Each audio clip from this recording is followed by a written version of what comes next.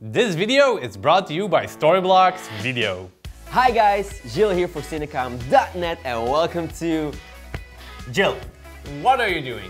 You can't host Copycat Friday. You're the new guy here. Go back to the office and start making those teeny battles everybody loves. Okay, sorry Janik. Let the real OGs do their work. Hey guys, Janik here for Cinecom.net. And do you know the feeling when you're working on an effect, but it's taking forever to figure out? Well, that happened to us in this week's Copycat Friday. We came across a super cool looping effect on Zach King his Instagram. And after seeing the effect, we had to do it. But the effect also came with a dark side. We are truly sad to say that we lost Jordy. Forever! The looping effect has Jordy in his grasp and there is nothing we can do. If you guys have some tips, please let us know because we are desperate. Now while we wait on your solutions, let's create this cool endless loop effect from Zach King. And like you know, we are big fans of him and his effects.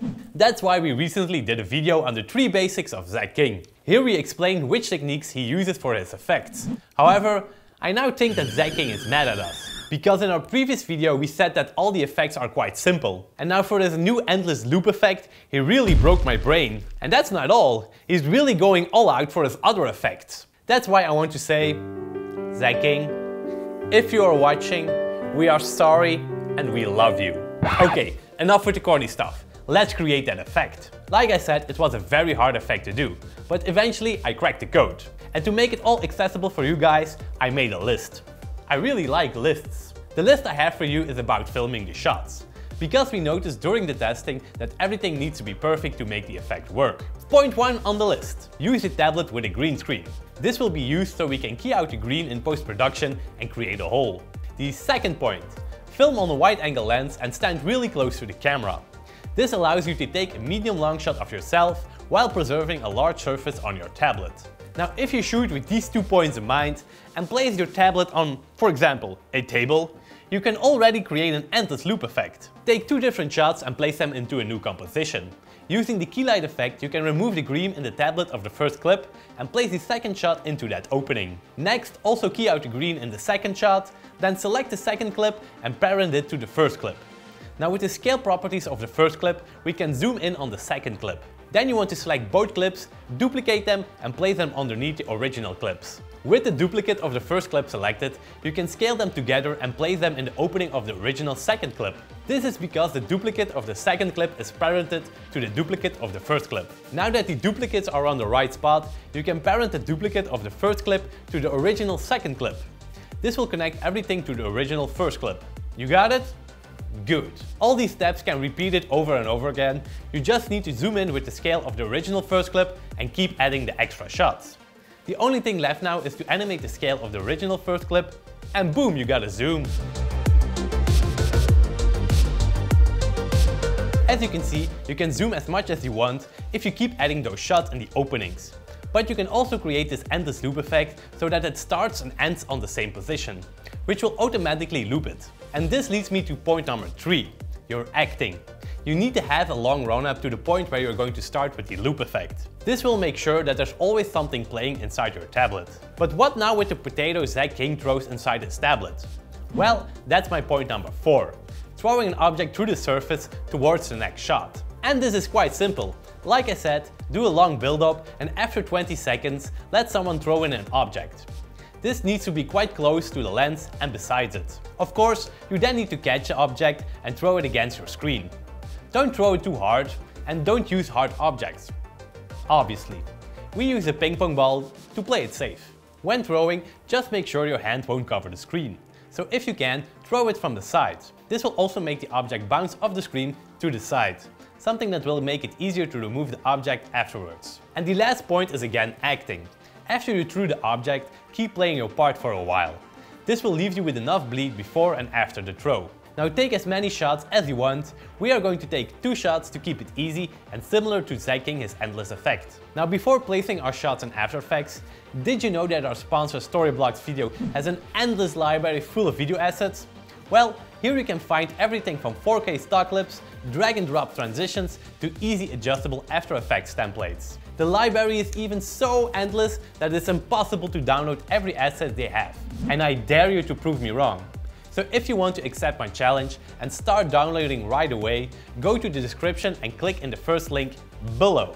Okay, now in After Effects, place your first shot into a composition. Make sure that the shot has enough bleed before and after your throw. Now because I'm holding a tablet and can't stand still, we need to track the motion of that shot. Go to the tracker and select track motion. In the tracker options, you can also enable the rotation and the scale. Then place your two tracker points on the surface you are holding and start the tracking. When After Effects is done, save the tracking data to a null object. Next we want to create a hole in the tablet, so key out to green. Now import the second clip into the composition and place it on the bottom. Then also track the motion of the second shot and key out to green. Now before we can place the second shot, we first need to parent the null object with the tracking data of the first clip to the first clip. Then also parent the null object with the tracking data of the second clip to the second clip. After this, you can place the second shot in the opening of the first shot and parent it to the null object of the first clip.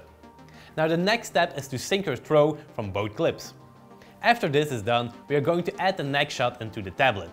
Now what you want to do is select all layers, duplicate them and place them underneath the original layers. To make it yourself easier, give everything a correct name.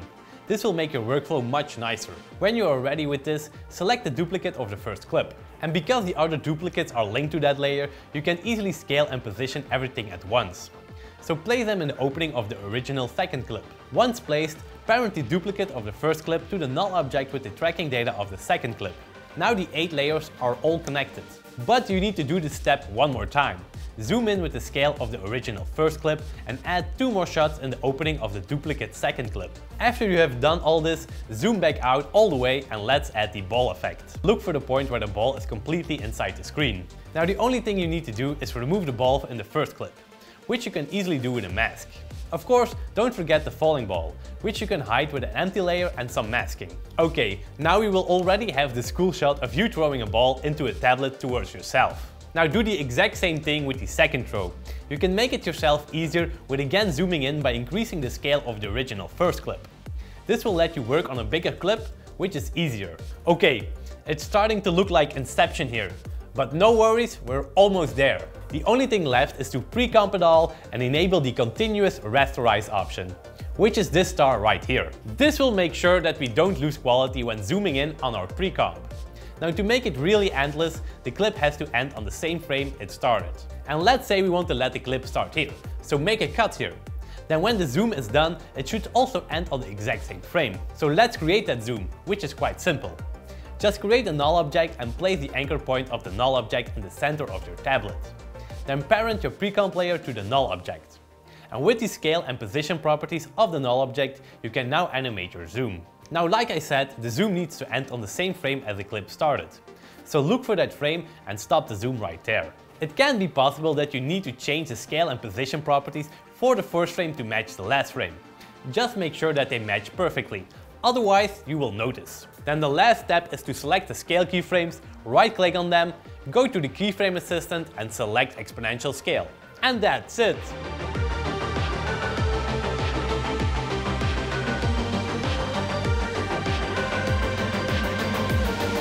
Okay guys, I know this was a harder tutorial and my brain really suffered with this fact, but I hope you learned something new and enjoyed it. So thank you so much for watching, thank you Storyblocks video for the support, and by the way, you can always let us know in the comments below how we can help Jordy. And as always, stay creative. So I've been working on this effect for an entire week, if you guys don't like it, we're quitting the channel. Okay? Do you want that? Do you want that, that we quit the channel? No, you don't want that. Like this video. Oh yeah, um, yeah, we're gonna quit.